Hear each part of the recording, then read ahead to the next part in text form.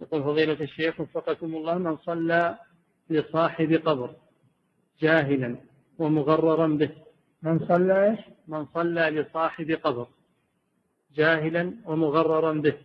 فهل يكون بذلك مشرك أم يعذر بجهله؟ لا يكون مشركا لأنه يقرأ في القرآن. يقرأ في القرآن النهي عن الشرك والأمر بالتوحيد. هذا التوحيد من أظهر الأشياء ولله الحمد في القرآن والشرك من أظهر الأشياء لا يخفى حتى على العوام. فكونه يصلي لمخلوق ويعبد مخلوق لا يعذر بذلك.